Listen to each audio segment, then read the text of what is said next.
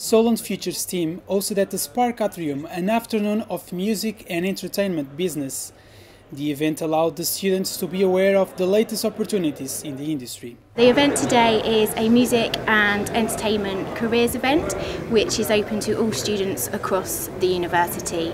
All afternoon they've been able to talk to industry professionals, get tips on how to break it within industry um, and also to find out about any opportunities for work experience or internships. So it's, it's key to providing um, brilliant career prospects for our, for our students.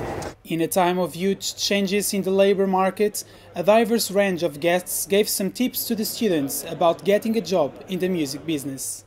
We have um, a lot of original artists, uh, emerging artists, local musicians that we provide support slots uh, for, for you know our bigger acts.